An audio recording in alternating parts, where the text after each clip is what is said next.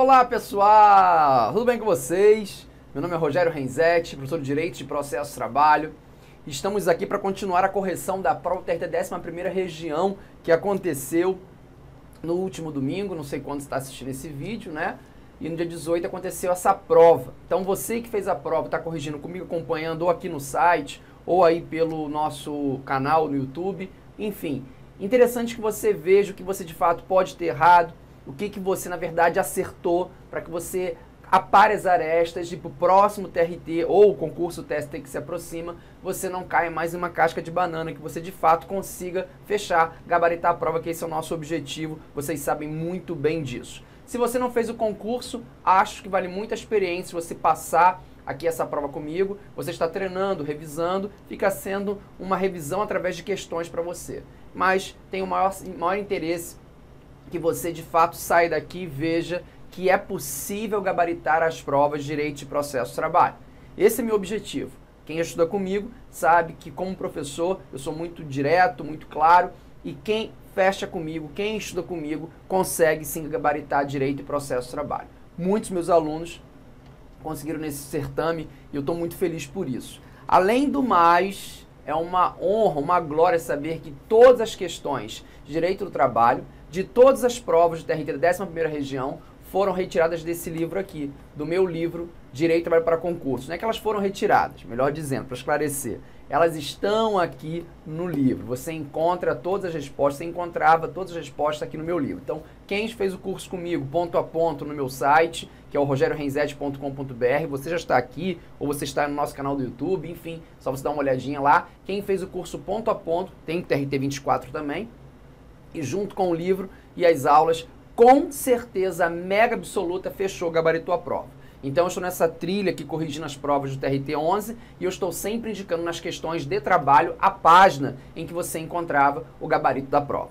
Isso vai mostrar para você que tem na sua mão, você que está com o livro aí, um material que você tranquilamente poderia estudar e que você conseguir acertar todas as questões da prova. Ok? Vamos então corrigir nesse vídeo agora as, a prova de Direito do Trabalho, deixa eu colocar para vocês aqui, de Analista Judiciário, área administrativa.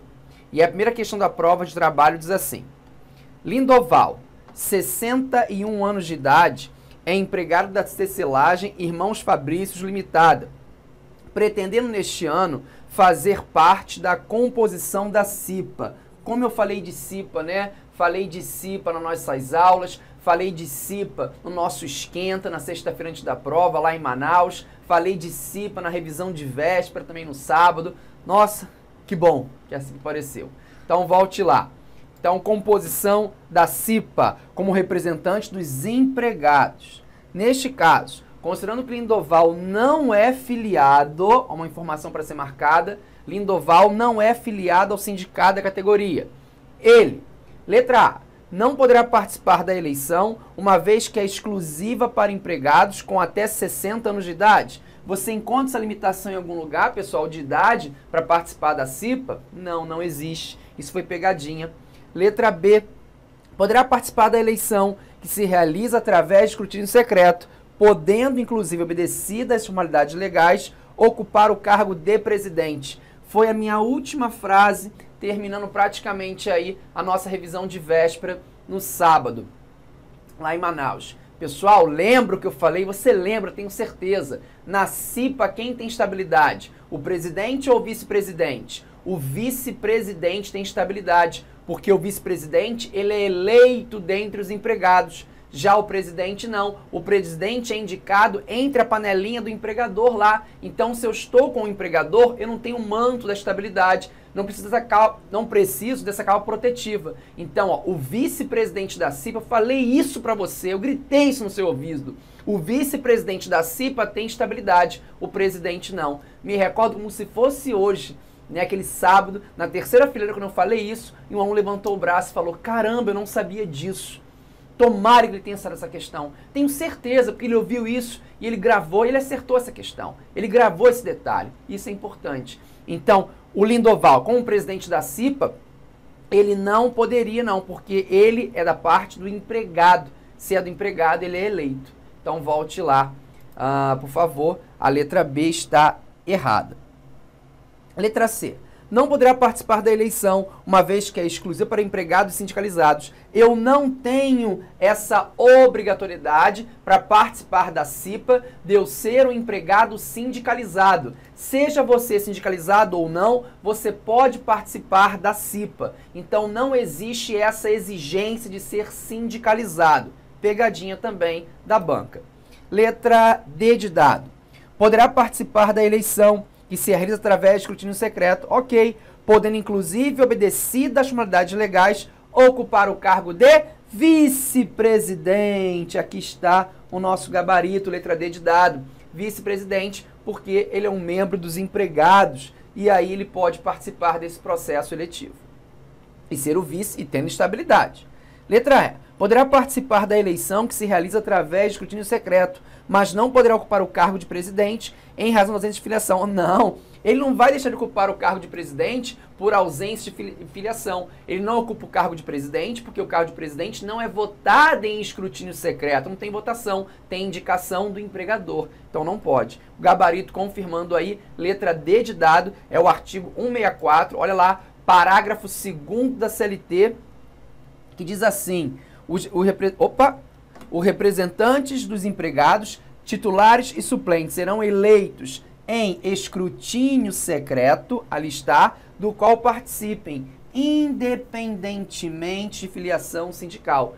A eleição é em escrutínio, votação secreta. E a filiação sindical não é requisito para ser representante dos empregados na CIPA. Não é requisito para ser empregado dos representantes da CIPA.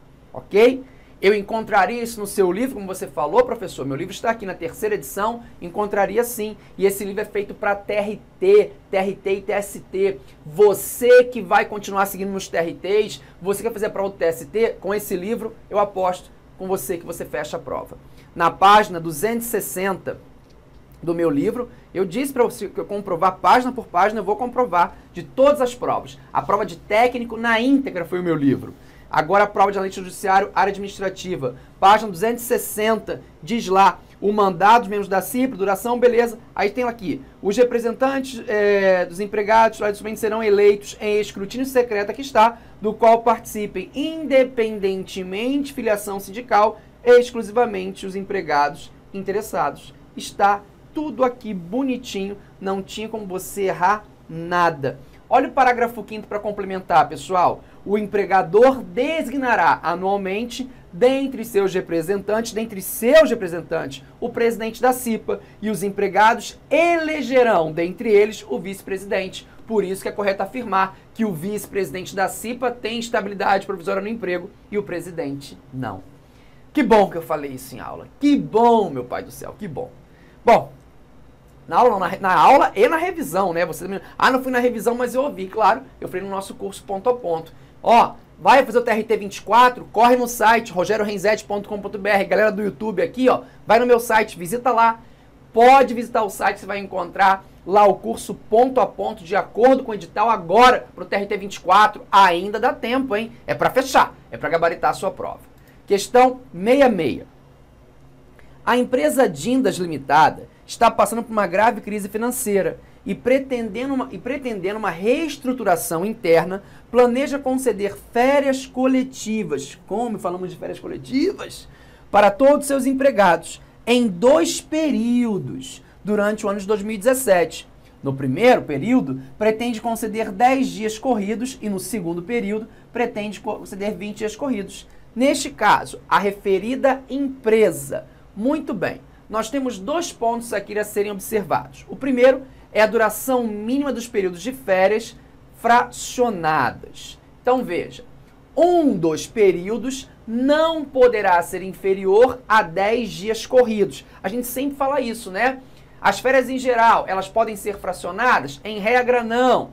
Em regra, serão concedidas de uma só vez. Salvo em situações excepcionais, poderá ser fracionada em até dois períodos sendo que um dos quais não poderá ser inferior a 10 dias corridos. Maravilha. Isso é férias comum, férias em geral. Se forem férias coletivas, elas podem ser fracionadas de plano, de imediato.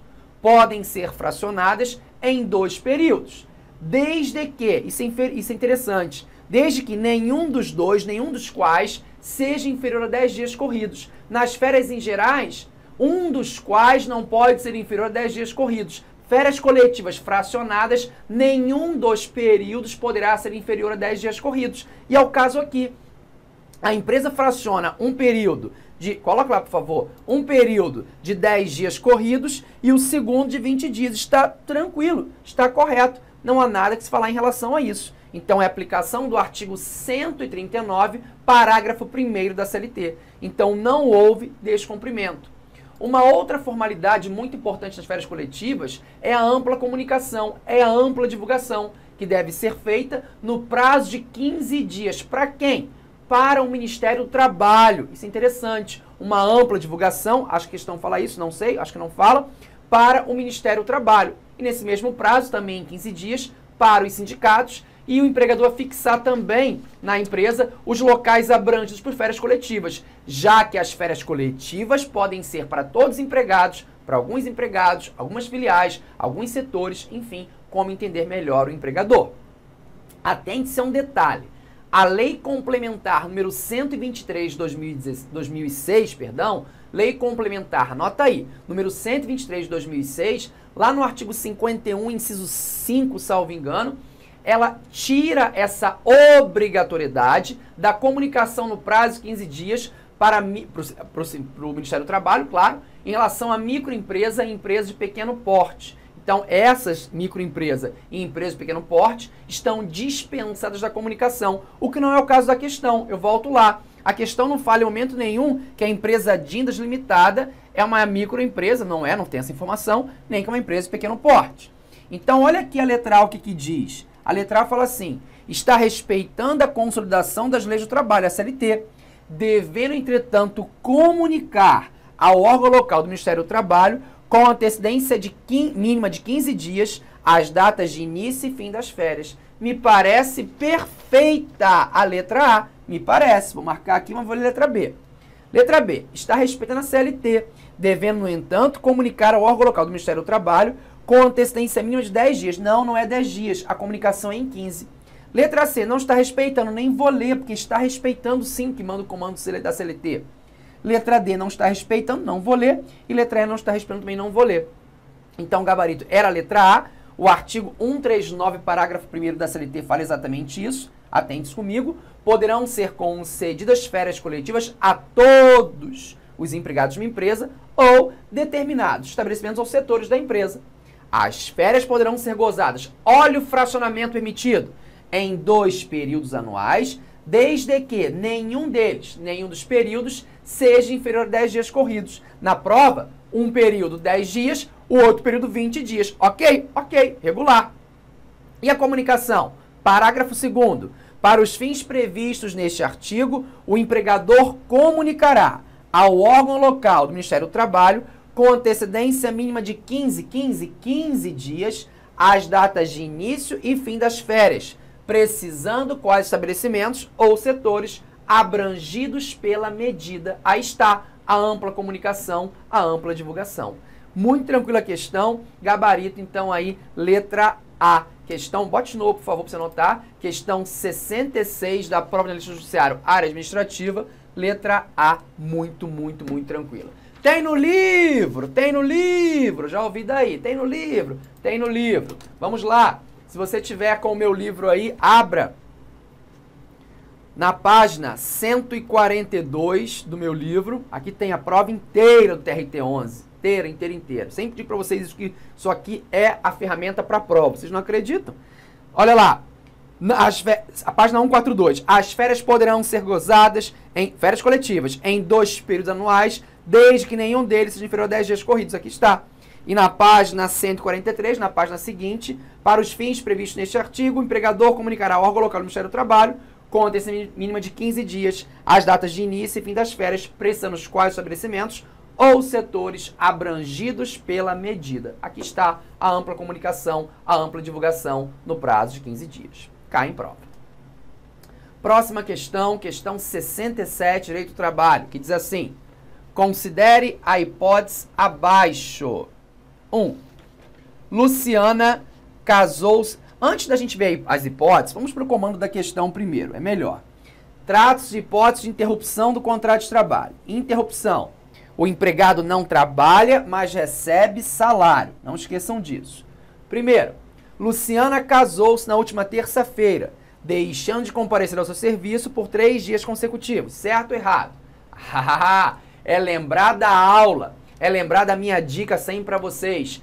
Peguem o artigo 473 da CLT e devora ele. Lembrou que eu avisei na aula ponto a ponto, no nosso curso lá no meu site? Ou aqui, quem estiver no site? Então pega o 473 e devora. Ele não cai não, ele despenca. A FCC ama o artigo 473 da CLT, que apresenta as hipóteses de interrupção do contrato de trabalho. Vai cair, vai cair, vai cair. Caiu. Caiu dois itens até, o 1 e 2. Então volte lá. O item 1 está correto. Casamento até três dias consecutivos é hipótese de interrupção do contrato de trabalho. 2. Dorival deixou de comparecer ao seu emprego por dois dias consecutivos em razão de falecimento do seu irmão. Perfeito. Ascendente, descendente, irmão ou pessoa declarada em sua carteira de trabalho carteira de trabalho viva sob sua dependência econômica. Carteira de trabalho viva sob sua dependência econômica. Tem que lembrar. 4. Simone está em gozo de, repouso semanal remunerado. Caramba, repouso, descansa e ainda recebe. Óbvio que é interrupção do contrato de trabalho. Pulei a Gildete, perdão. Gildete está de férias. Eu falo na aula, férias é a principal hipótese de interrupção do contrato de trabalho. O empregado não trabalha, mas recebe. Recebe até assim, ó. Remunera... Férias é igual. Remuneração mais um terço recebe até o terço a mais. Então, o que é interrupção? 1, 2, 3 e 4. 1, 2, 3 e 4. Gabarito, letra E. Tudo aqui é interrupção do contrato de trabalho. Então, você precisava conhecer o artigo 473 da CLT. 473, inciso 2, inciso 1, né, o casamento e falecimento o artigo 129 da CLT, que fala das férias, e o artigo 7, inciso 15 da Constituição Federal, que traz aí o repouso semanal remunerado. Você encontraria isso tranquilamente também aí uh, no livro. No livro aonde? Vamos lá, na página 123 do meu livro, por favor. Na página 123 você encontraria as duas hipóteses Considera-se interrupção do contrato de trabalho até dois dias consecutivos em caso de falecimento do cônjuge, ascendente, descendente, irmão ou pessoa que declarada em carteira de trabalho viva sob sua dependência econômica. Depois, até três dias consecutivos em virtude de casamento. Então, na página 123 você encontraria isso. E na página 121 você encontraria as outras hipóteses de interrupção do contrato de trabalho, como férias, repouso semanal remunerado, está aqui e feriados civis e religiosos. No meu livro, ó, tem quadrinhos, quem não conhece, com as distinções. Então, ele é, fica bem didático para você em relação a isso. Né? Veio um verdão aqui atrás de mim, mas foi por causa da luz. Ok? Não é do livro, não. Tranquilo? Muito bem. Vamos então para a nossa próxima questão, questão 68, que diz assim. Matias é motorista da família Silva. Vamos dividir a turma aqui. O primeiro personagem é o Matias. O Matias é motorista da família Silva, prestando seus serviços três dias na semana, no qual leva e busca as crianças na escola. Ok. Felícia é jardineira, exercendo suas atividades para a família Silva quatro vezes por semana. Ok. Gilberto faz faxina na residência da família Silva, uma vez por semana. E por fim, Daisy é acompanhante da, da matriarca da família Silva duas vezes por semana. Nestes casos, observando o requisito temporal e considerando que os demais requisitos legais estão presentes, tratam-se de empregados, empregados domésticos quem? Quem? Quem aqui é doméstico? Muito bem. A FCC trouxe aqui a ideia da lei complementar número 150 de 2015, no artigo 1 que diz o seguinte, que regulamentou, vamos chamar assim, o requisito clássico, que a gente quer saber, de dar continuidade. Para ser empregado doméstico, tem que trabalhar quantas vezes por semana na residência da pessoa ou da família? Tem que trabalhar mais de duas vezes por semana. Então vão ser três vezes por semana, no mínimo, para que eu seja considerado empregado doméstico. Neste caso, o Matias, que é o motorista, serve a família, trabalha três dias por semana. Matias é doméstico. Felícia é jardineira, trabalha na residência quatro vezes por semana. Felícia é doméstica. Gilberto faz faxina uma vez por semana. O Gilberto é diarista, é o autônomo. Ele não é empregado doméstico. Por fim, Daisy é, trabalha duas vezes por semana como acompanhante. Acompanhante pode ser o doméstico, tudo bem, mas Daisy só vai duas vezes por semana. Neste caso, Daisy também é autônoma. Daisy também é diarista e autônoma não é empregado doméstico. Então, só quem é empregado doméstico aqui, nessa, nessa história, é o Matias e a Felícia. Só Matias, bote lá, por favor. Só Matias e Felícia. Gabarito, então. Letra A, Matias e Felícia, o artigo 1 da Lei Complementar, número 150 de 2015, diz lá, ao empregado doméstico, vamos colocar aqui o amarelinho, assim considerado aquele que presta serviços de forma contínua, que contínuo é esse, subordinada, onerosa e pessoal, e de que finalidade não lucrativa a pessoa, a família, no âmbito residencial desta, por mais de dois dias por semana, aplica-se o disposto nesta lei. Se é por mais de dois por semana, aplica-se o disposto nesta lei. Está aí. Aquela aula completa que a gente deu de empregado doméstico, veio o examinador e traz uma questão fácil dessa, muito fácil. Encontraria facilmente no livro também, na página 42. Quem tem um laranjinho livro aí, encontra na página 42, de cara, quando abre empregado doméstico, já falando nesse requisito, que tem que trabalhar por mais de duas vezes na semana. Beleza, pessoal? Tranquilo? Então, mais uma questão aqui no nosso livro Direito do Trabalho. Próxima questão, questão 69, que diz assim: No tocante à alteração do contrato de trabalho, considere 1. Um, deixa eu pegar aqui a caneta. Primeiro, empregado transferido por ato unilateral do empregador para o local mais distante de sua residência tem direito a suplemento salarial correspondente ao acréscimo de despesas de transporte? Claro. Se a transferência é para ato do empregador e eu vou ter que ter uma despesa maior, isso está correto. Súmula 29 do TST. Item 2. Considera-se alteração unilateral a determinação do empregador para que o respectivo empregado reverta ao cargo efetivo anteriormente ocupado, deixando exercício de função de confiança. Considera-se, pessoal? Não, não se considera alteração unilateral.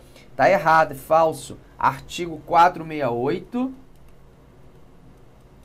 parágrafo único da CLT não, não se considera. Eu tenho que lembrar que a reversão é sempre possível. Reverter o empregado ao cargo anterior sempre é possível. Lembra? Tem que só lembrar da súmula 372. Se ele ocupa a função de confiança por 10 ou mais anos, ele pode ser revertido, mas traz gratificação, tendo em vista o princípio da estabilidade financeira. Se for por menos de 10 anos, ele é revertido, não traz gratificação. Então tem que lembrar desse ponto aí. Então o item, o item 2 aí está falso. Item 3. Ao empregador é vedado transferir o empregado com a mudança de seu domicílio sem a sua anuência para a localidade diversa da que resultar do contrato. Essa proibição estende-se aos empregados que exerçam o cargo de confiança. Não se estende, não. Se exerce o cargo de confiança, é uma das hipóteses de exceção, é uma das exceções. Artigo 469, parágrafo 1 da CLT. Aqui é uma das hipóteses de exceção. Falamos tanto em sala de aula também Item 4.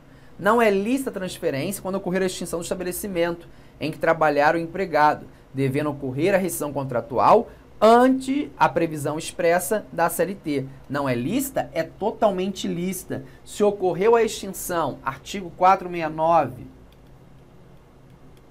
parágrafo 2 da CLT, se ocorreu, opa, CLT.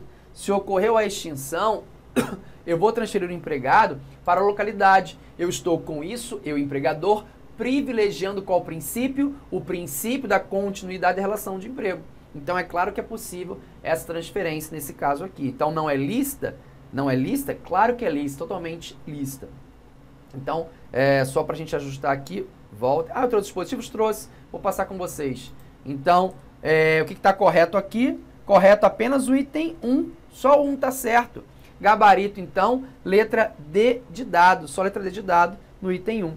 Então, ó, súmula 29 do TST, depois você olha. Artigo 468, parágrafo único da CLT. Muito bem. 469, parágrafo 1 e parágrafo 2 da CLT. Tudo aí bonitinho. Acharia no seu livro, Renzete? Óbvio que acharia no meu livro. Da página 103 em diante, você tem tudo isso aí que envolve alteração do contrato de trabalho. Muito tranquila a questão, muito tranquila. Bem satisfeito com essa prova. Questão 70, vamos ver. Diz lá. De acordo com o entendimento sumulado TST. Parou, parou, parou. Vem para mim um pouco aqui. A grande marca do concurso do TRT da 11ª região foi a cobrança da jurisprudência do TST. Eu disse para vocês, súmulas e OJs não caem, despencam em prova. Súmulas e OJs hoje representam gabarito em prova. Quando a banca colocou no edital, de forma expressa, para todos os cargos, súmulas e OJs, eu disse a vocês, muitos duvidaram, muitos alunos duvidaram, até a última hora. Eu falei no sábado, na véspera da prova. Pessoal, a grande marca do TRT11 vai ser a cobrança maciça, pesada de súmulas do TST. E não deu outra. Elas caíram. Então, quem fez o nosso módulo, a nossa isolada, atualizadíssima, dividida, organizada por assuntos de súmulas e OJs, parte 1, direito do trabalho, parte 2, processo de trabalho, não teve nenhuma dificuldade. Eu tenho certeza disso. Então, se você vai encarar o TRT 24, esse sistema vai continuar. Vai no site, quem está no YouTube aqui, em rogerorenzete.com.br e adquira já. Tá baratinho, baratinho. O nosso módulo, a nossa isolada de súmulas e OJs. As principais súmulas e OJs do TST que não caem não, que despencam na prova do TRT e na prova do TST. Então fica aí a dica para você. Quer continuar errando? Aí você que sabe. Então vamos voltar para questão, questão 70. Então, de acordo com a súmula do TST, a contribuição para o Fundo de Garantia por Tempo de Serviço, FGTS, incide sobre a remuneração mensal devido ao empregado. Beleza. Aí vem letra A. Com exceção das horas extras? Claro que não. Se hora extra natureza salarial, como é que vai ter essa exceção? Não existe. Inclusive horas extras e adicionais eventuais, me parece muito bom. B. Na proporção 7% pessoal, FGTS 7%? Não, é 8% sobre a remuneração do empregado. Se for o aprendiz, aí é 2%. Letras D, proporção 12%, nem perde seu tempo. Letra E, proporção 11%, lógico que não. Gabarito B de bola, inclusive horas extras e adicionais eventuais. Nada mais, nada menos que a súmula 63 do TST a contribuição para o FGTS incide sobre a remuneração mensal devido ao empregado, inclusive horas extras e adicionais eventuais. Está aí o que foi cobrado sobre FGTS na sua prova. Encontraria no seu livro, Renzete? Encontraria no meu livro, sim. Lá na página 274 está lá a súmula 63 a contribuição para o FGTS incide sobre a remuneração mensal devido ao empregado, inclusive horas extras e adicionais eventuais. Página 274 do meu livro, se tivesse ele na sua mão, não na hora da prova, mas para o seu estudo, você acertaria mais uma questão, você fecharia, na verdade, a prova do TRT 11, cargo, analista judiciário, área judiciária, a prova de trabalho. Não tem processo para você, então é só trabalho. Então, questõezinhas muito, muito tranquilas tenho certeza que se você fez o curso comigo, se você tivesse o meu livro, você conseguiu fechar, gabaritar. Se não deu dessa vez, não tem problema. Viu onde você errou? Viu? Não vai errar mais? Não, não vou mais errar. Então vamos embora. Bola pra frente porque é até passar. TRT é TRT Brasil. Se você quiser, vem comigo que eu te ajudo nessa. Todos os meus cursos atualizadíssimos no meu site, rogerorenzete.com.br. Breve, muitas novidades e novos cursos. Bom, Qualquer momento eu volto com outro vídeo comentando mais uma prova TRT11. Vai clicando aí, vai me seguindo, se inscreve no canal aí que vai ajudar bastante. Não esqueçam nunca do nosso lema: trabalho não dá trabalho. Tchau!